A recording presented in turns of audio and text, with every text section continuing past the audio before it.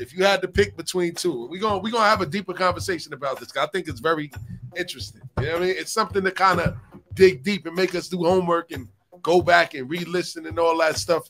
You know what I'm saying? So three just mentioned to me that purple tape. Criminology, nigga. Criminology. Yeah, purple tape.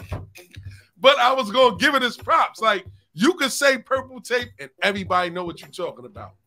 But because that was like I think that was the first set of its time, like to, to do a different color cassette tape, right? Yeah, I believe so. Hip did hop. it after Yeah, Redman did it after. He No. followed suit. Redman did it first.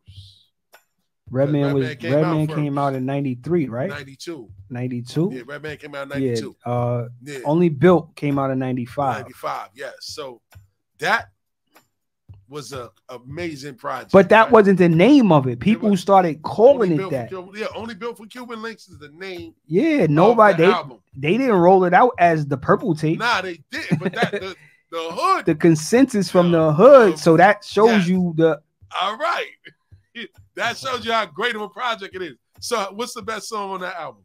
Man. I got so many favorites, man. I mean, like I said, like I could just go through the play, like criminology, incarcerated Scarfaces, Uh-huh. rainy days, can Uh-huh. it all be so simple? Uh-huh, Ice water, uh-huh. like glaciers of ice. Like it's just so many classics on verbal intercourse. There we go.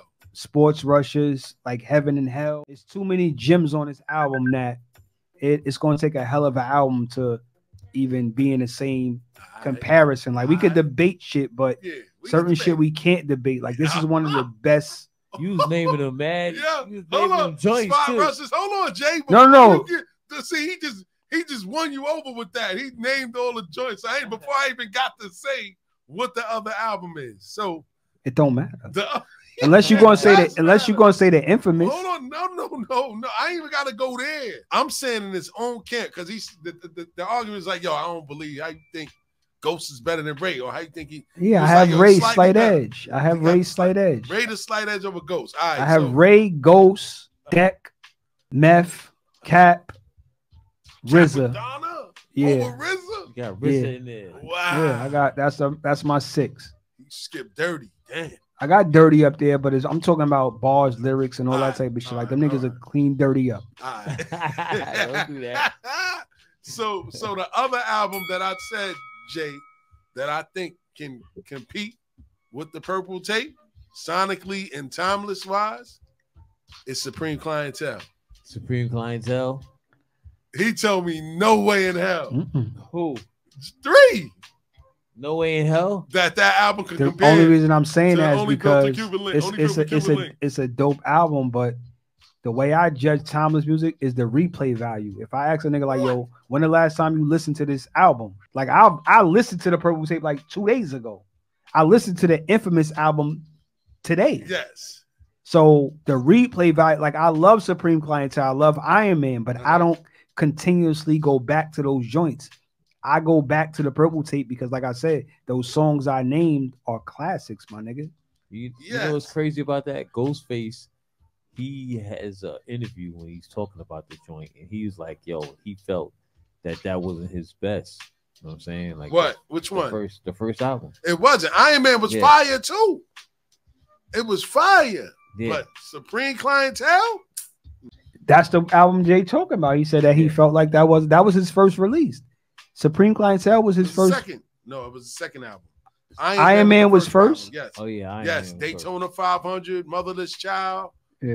Um, you know what I'm saying? Um, other joints on there. Um, damn man, I forgot. That album was tough, my nigga, but it's like to follow up only built for Cuban Linx. It's tough, my nigga. Like those are like it's a few joints I have in that spectrum. Like only only built for Cuban Linx, Illmatic, the infamous Reasonable Doubt, Ready to Die. It's like those certain albums, like the first release, Mhm. That are epic. Where like you could go back and just listen to them shits now.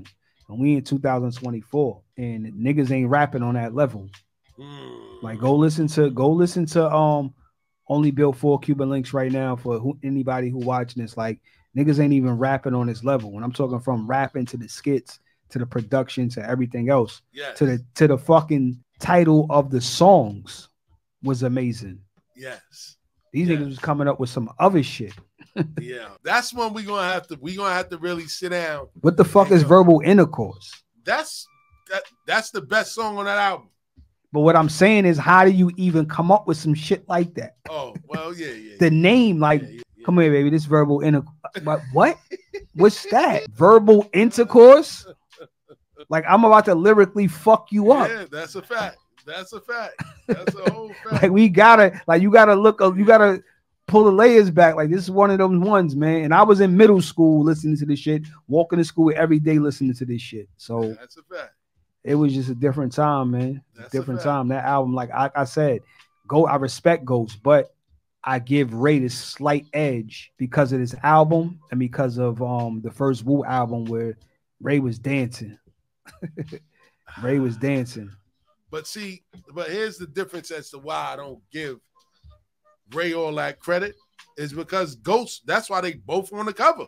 It was really a compilation album between the both. of them, No. Ray had a budget. They gave Ray a deal. Ray had the Uh-huh. budget. Yeah. They said we gonna give you a solo album. Uh-huh. Ray said, "I'm calling my brother in to assist me on this project," and he gave him some of the bread.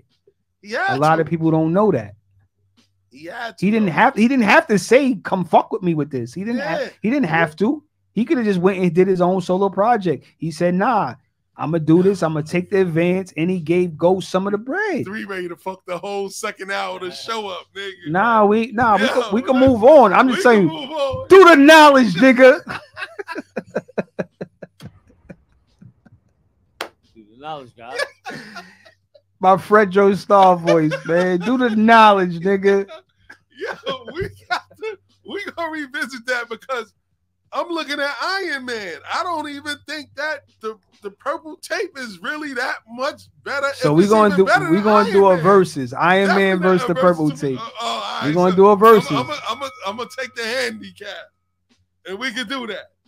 We can I'll do that. Yo, yo, This is what I'm saying. How are you trying to take his week. solo joint over his joint with another swordsman? Yo, it's, How? you, Yo, It's both of them on that joint. This is what I'm saying. but It's superior to his solo joint. no, it's not, man. Yo, I don't know, man. Oh my god. look at Jay. I I, hear don't what know you what doing over there, Jay. I hear what you yeah, doing listen, over I don't know what this nigga been drinking, man. you But that purple that purple tape was different, can- my nigga. I- don't get me wrong. It was. That shit was different. The sound, everything, my nigga, was different, my nigga. It came before that, pause. So it gotta be like, yeah. come on. Oh man, I would love to get Jay in this on this debate, man. Word to mother, like that'll be a good one. It won't be as easy as you think. I'm telling you. The the album, don't get me wrong, Supreme Clientele was a great project. They put it together well, like you said, the skits, all of that. You know what I'm saying?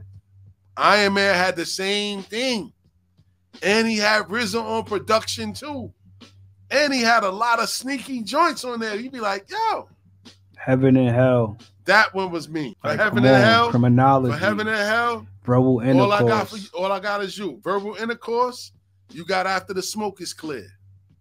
Nah, them shits don't line up. my Daytona 500, criminology. That shit ain't What? better than criminology. I ain't That shit ain't better than verbal intercourse. Verbal intercourse is one of the best fucking hip hop tracks of all time. Yeah, it is. You got three of the best MCs on a crazy beat, yeah, and fucking Nas opened that shit up yeah, yeah, marvelously. Yes, he did. He Like- did. He did. Come on, man. Like it just got like if you break down the program, it just got too much going on with it. Like it was it was one of it was one of a kind. It was a one of a kind project, man. Like even with the infamous, like the infamous could go up against any hip hop album, solo, duo, group, whatever. The production is crazy, Yeah, the lyrics is crazy, the flow is crazy, the skits is amazing. yeah, yeah. Like it's just staying the test of time.